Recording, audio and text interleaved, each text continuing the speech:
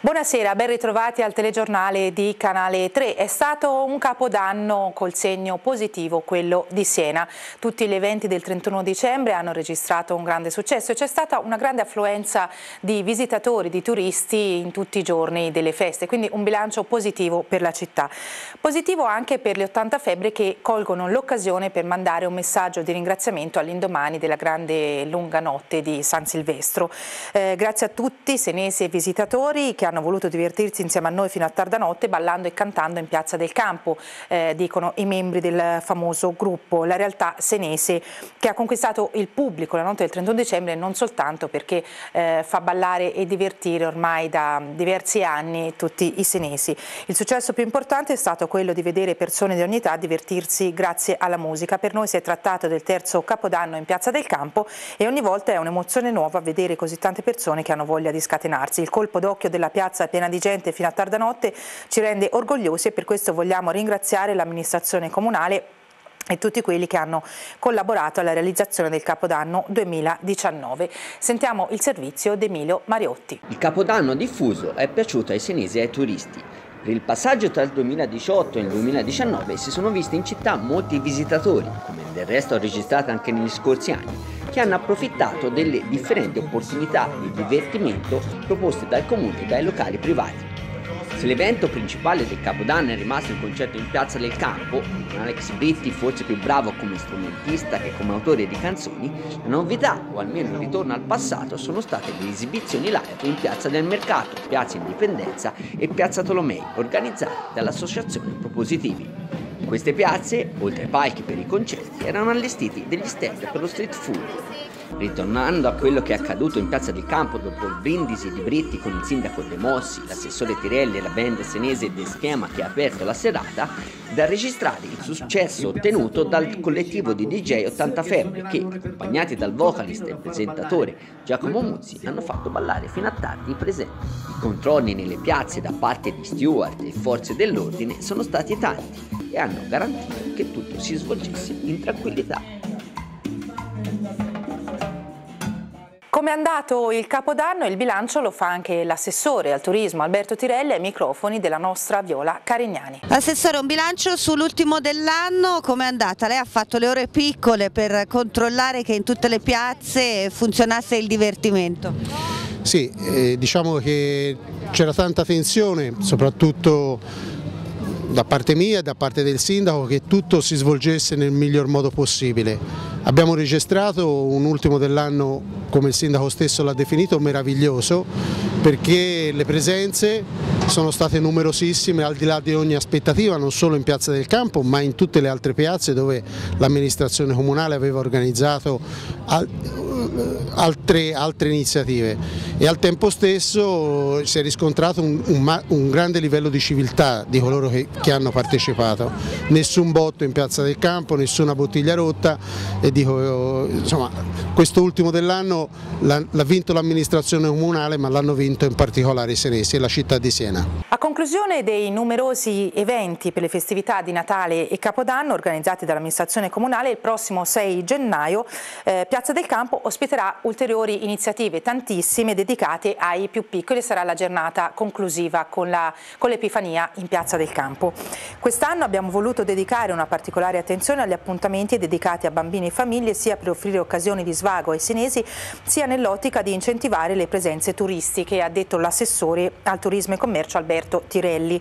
L'obiettivo è quello di rendere sempre più vivo il centro storico, animarlo con eventi che possano incontrare il favore di residenti e visitatori. Lo abbiamo fatto con le iniziative del Natale, con il grande concerto in Piazza del Campo e gli altri appuntamenti di Capodanno lo faremo anche il prossimo 6 gennaio con la Befana. Domenica l'appuntamento sarà con Volare o a cavallo di una scopa, un ricco cartellone di eventi gratuiti in Piazza del Campo, un pomeriggio di divertimento realizzato in collaborazione con Extempora dedicato all'arrivo della vecchietta piomata dai bambini che andrà avanti dalle 14 14.30 fino alle 18 tra percorsi a ostacoli a cavallo di scope volanti, laboratori creativi, spettacoli di equilibrismo e eh, clown. AAA Cercasi Befana sarà lo spazio in cui poter scattare foto con costumi, gadget, accessori befanosi. Sarà possibile travestirsi da Befana o Befano per, fare, per farsi immortalare in questa occasione speciale. Lo spazzacamino ufficiale della Befana inviterà i bambini e le loro famiglie ad entrare nella grande cornice scenografica dei selfie con l'immancabile cappello alla romana. Durante il pomeriggio inoltre si potrà affrontare un percorso a ostacoli a cavallo di una vera e propria scopa volante. Sarà una gara contro il tempo da affrontare con la miniscopa, la scopa gigante, la scopa bus, la velocissima Nimbus 2000 oppure optare per un trasporto di gruppo con la scopa sharing. Con il gioco dell'oca in formato gigante i bambini si trasformeranno in pedine umane con lo scopo di raggiungere per primi la casella finale. E poi ancora all'interno del cortile del Podestà di Palazzo Pubblico si terrà Cosa Bolle nel Calderone, uno spazio nel quale i bambini potranno entrare per ascoltare gli aneddoti che il gatto nero, amico fidato e portafortuna della Befana, avrà da raccontare tra gag, sorprese e giochi d'ingegno. In Piazza del Campo verranno inoltre allestiti i Befanart, cioè laboratori creativi per chiunque si senta un artigiano con le idee più colorate e per aggiustare le scarpe rotte della Befana o inventarsi qualsiasi cosa con calze, calzini, calzettoni, colla, forbici eccetera. A Fontegaia alle 15 e alle 17 ci saranno le acrobazie con le scopre di Equilibrium Tremens. Tobia Circus pre presenterà uno spettacolo innovativo in cui delle comuni scope porteranno gli spettatori del mondo assurdo di Philip Sutil, un gentiluomo magro e agile che ama ballare. L'elegante protagonista è affascinato dall'idea dell'equilibrio e vuole sfidare la forza di gravità. Uno spettacolo di equilibrismi eh, dal clima surreale in cui si susseguono colpi di scena e trovate inaspettate. Alle 16, sempre a Fonte Gaia, lo spettacolo di Mortimer, il marito Fakiro della Befana, tra bottiglie che non si rompono, torcette infuocate e altre idee e, eh, per ogni età, eh, con l'arte del fakirismo, un lavoro attoriale di creazione dei personaggi e la regia di Peter Weiss.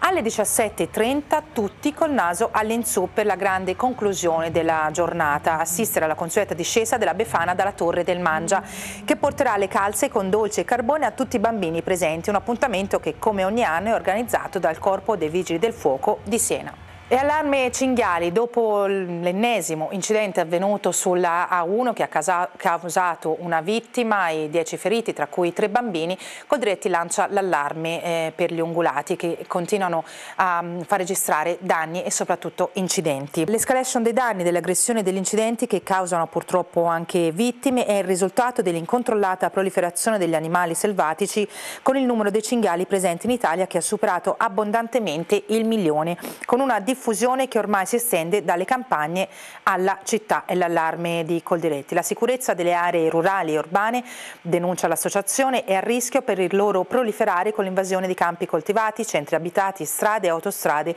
dove rappresentano un grave pericolo per cose e persone. Gli animali selvatici che distruggono i raccolti agricoli, sterminano gli animali allevati, causano incidenti stradali per un totale di danni stimato in quasi 100 milioni di euro l'anno, senza contare i casi in cui ci sono state purtroppo anche vittime. Non è quindi più solo una questione di risarcimenti, ma è diventato, aggiunge ancora la Coldiretti, un fatto di sicurezza delle persone che va affrontato con decisione. Ora non ci sono più alibi per intervenire in modo concertato tra ministeri e regione e avviare un piano di abbattimento straordinario senza intralci amministrativi.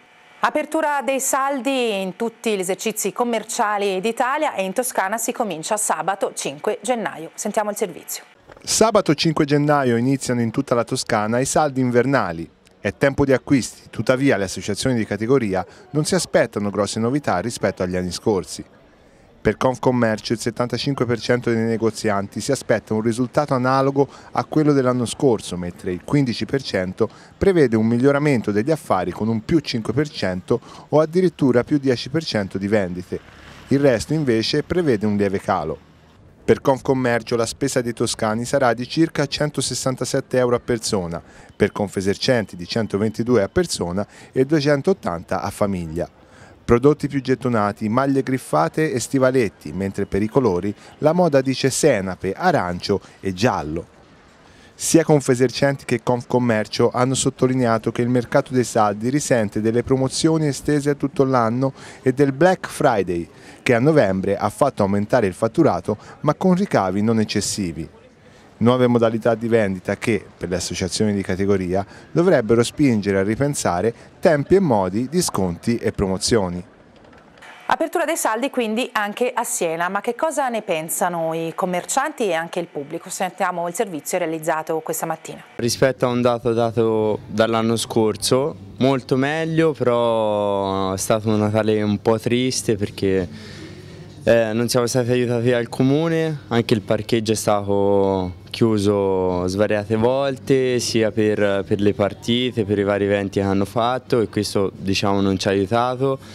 Sicuramente tante persone si saranno mosse a giro per uh, i centri commerciali, dato che anche il 23 il, insomma, cadevano di domenica e sabato, quindi molta gente si sarà spostata fuori. Diciamo è andata bene, rispetto sì, all'anno scorso però poteva andare molto meglio. La gente è abituata a trovare saldi un po' dappertutto, ovunque, soprattutto anche sotto Natale e quindi insomma secondo me potrebbe andare meglio se fosse un po' più regolamentata questa situazione di, di saldi al di fuori del normale. I saldi iniziano ufficialmente sabato, poi in realtà così non è e quindi purtroppo eh, la regolamentazione dei saldi è una cosa un po', un po ormai, ormai diventata una piaga diciamo, nostra, nel, nostro, nel commercio. Diciamo, ecco.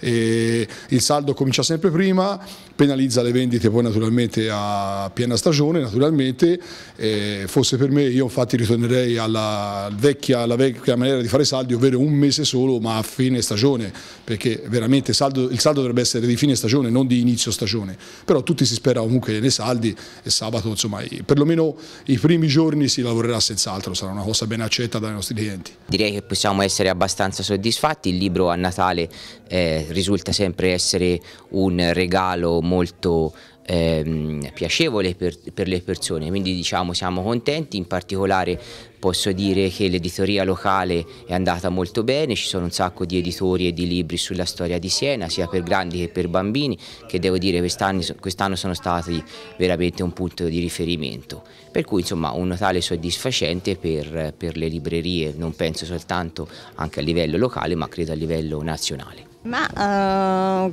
le scarpe soprattutto, biancheria, giacconi, se, se si trova l'occasione giusta, prezzo buono, giusto e di qualità. Anche se noi non siamo assolutamente interessati in prima persona ai saldi, perché il nostro non è un negozio da saldi di fine stagione, noi vendiamo un articolo che dura 12 mesi all'anno se Dio vuole però eh, i saldi di fine stagione comunque creano uno spostamento dei flussi perché c'è una fascia di popolazione che è concentrata sull'acquisto di determinate cose e quindi trascura tutto il resto. Questo succede un po' a tutti i settori come il nostro che non sono direttamente interessati ma risentono di questi spostamenti. Che cosa potrei dire dei saldi? Dei saldi posso dire solo malissimo, perché così come sono congegnati creano a mio avviso solo un, un danno agli esercenti. Prima di tutto perché sono ormai troppo a ridosso eh, delle, delle, festività in questo caso e dell'inizio della stagione, cioè della stagione estiva, i saldi estivi. Ormai tutti si tende ad aspettare per comprare qualcosa all'inizio dei saldi.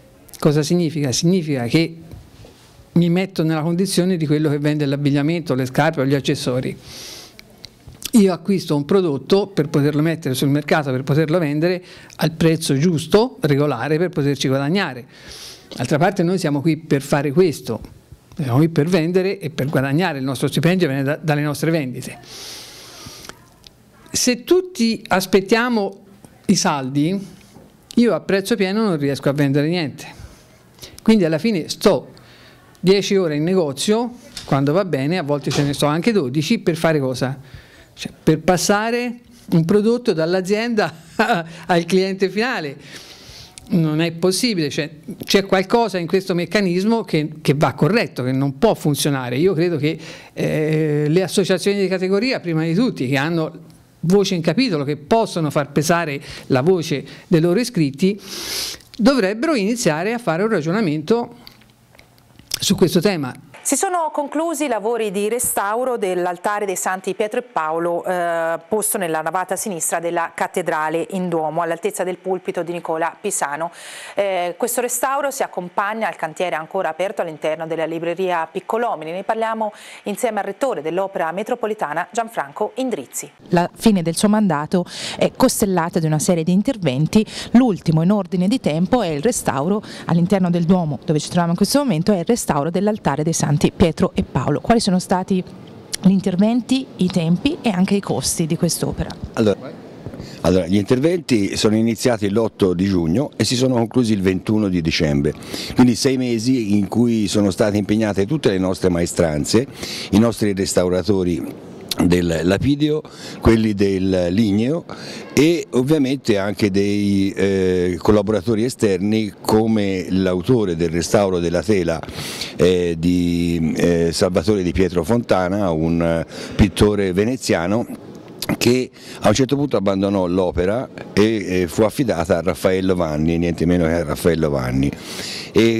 un'opera che risale alla metà del 1600 e che viene descritta minuziosamente, parlo dell'altare nel suo complesso, da Alfonso Landi che fu un eh, professore all'università, allo studio di Siena e che nell'opera che sostanzialmente è il primo eh, elenco delle opere di Siena e si chiama Il racconto del Duomo eh, fu um, completato nel 1655, l'anno in cui salì al soglio pontificio Papa Alessandro VII, quindi eh, a maggior ragione è un vanto. Il Papa Senesi. Papa Senesi, Papa Alessandro VII, per il quale allestiremo a marzo una mostra in cripta dedicata a lui e ai reliquiari che appartengono alla sua epoca.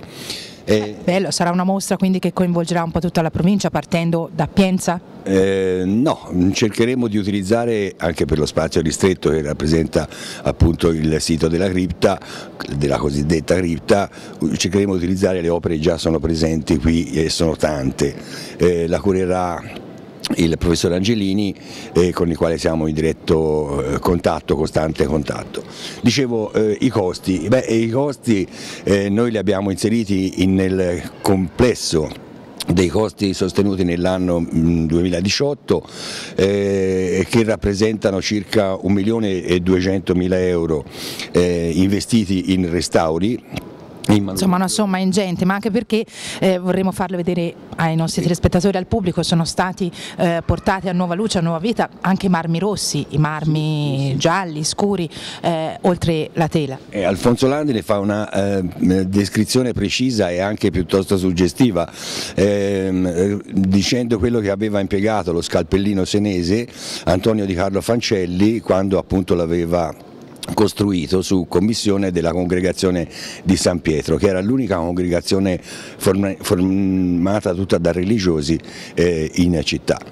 E abbiamo poi eh, ovviamente un altro bel gruzzolo da investire nel 2019 eh, sono circa 3, 3 milioni e 695 mila euro che abbiamo stanziato a bilancio preventivo e fanno parte di una spesa complessiva di 8 milioni e 9 che eh, costituiscono gli investimenti pluriennali destinati alla sicurezza e al restauro delle opere d'arte del complesso monumentale. Tra le grandi opere di restauro che ci sono all'interno del Duomo vale la pena ricordare anche quella all'interno della libreria Piccolomini che è ancora in corso ma intanto vediamo già i primi risultati perché qui possiamo vedere la differenza tra eh, la fine della parte restaurata e la parte invece che deve eh, avere ancora il restauro, Rettore. Certo, sì anche questa è un'opera eseguita esclusivamente dalle nostre maestranze, da Stefano e Daniele Butti, Stefano tra l'altro ha ricevuto la qualifica di restauratore eh, recentemente, noi ne siamo siamo contentissimi perché a lui si affiancano anche due lapidei galgani e ehm, Casini che anche loro hanno avuto la qualifica quindi sempre maggiore professionalità da parte delle nostre maestranze.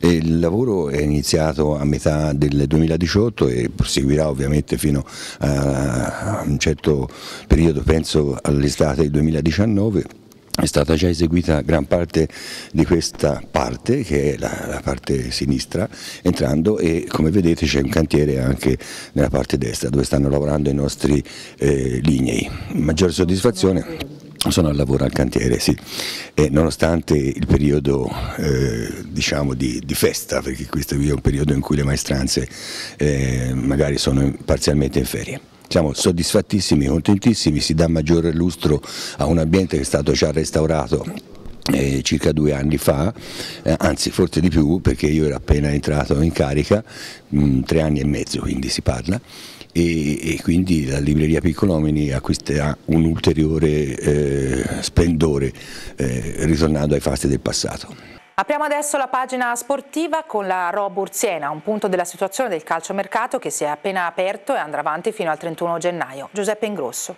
Si è aperto oggi il cosiddetto mercato di riparazione, la finestra invernale che coprirà le prime pagine dei giornali sportivi per tutto il mese di gennaio. Per il Siena non sarà un momento caldo, anche perché gli acquisti, come detto più volte da mister Bignani, ce li ha in casa, ovvero i giocatori che per adesso hanno toccato poco o per niente il campo. Cesarini, Belmonte, Boulevardi, Gerli, in un certo senso anche Cristiani, ancora lontani lontano parente dal calciatore della passata stagione. Le operazioni degli uomini mercato Dolce e Vaira saranno legate alle uscite, elementi come Fabbro, Nardi per esempio potrebbero chiedere di cambiare squadra per trovare più spazio. Occhio anche al numero di over, giocatori nati prima del 96, la Robur ne ha 14, limite massimo, quindi per fare un acquisto over dovrà cederne un altro over. Intanto i primi movimenti riguardano i ragazzi della Berretti, ma in orbita prima squadra. Cecconi è passato al Badesse, Bonechi al San Donato Tavarnelle, per entrambi il sogno di ripetere l'esperienza di Romagnoli, cresciuto sei mesi a Rimini per poi entrare in pianta stabile nella rosa dei grandi. Bene, questa era l'ultima notizia, l'appuntamento consueto con le previsioni meteo a cura del consorzio Lamma. Vi ricordiamo che subito dopo il telegiornale andrà in onda l'approfondimento dedicato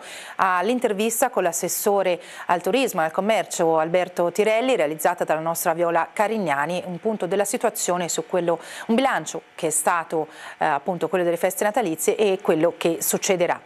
Alle 21 in prima serata per Stelle di Siena andrà in onda la nuova puntata a cura di Giuliano Ghiselli che parlerà della cosiddetta costellazione del rifugio. Domenico Billò, Aurelio e Agostino Chigi e il cardinale Flavio Chigi. Vi auguriamo una buona serata con i programmi di Canale 3. Grazie per essere stati con noi.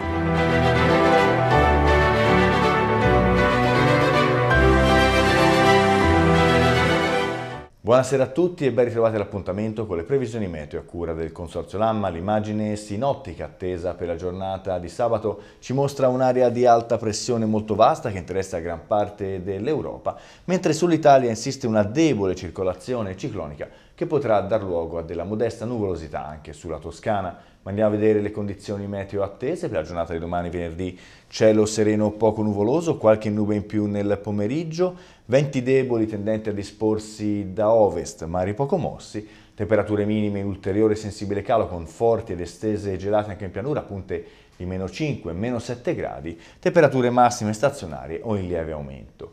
Per quanto riguarda il fine settimana, nella giornata di sabato cielo a tratti nuvoloso, in particolare sulle province centro-meridionali con possibilità di qualche isolata pioggia. In arcipelago venti deboli e più moderati occidentali, ma rimossi a nord dell'Elba, temperature in aumento sia nei valori minimi che nei valori massimi. Tendenza infine per domenica, cielo sereno poco nuvoloso sul nord della regione, qualche nube sparsa sulle aree centro-meridionali ma con basso rischio di precipitazioni.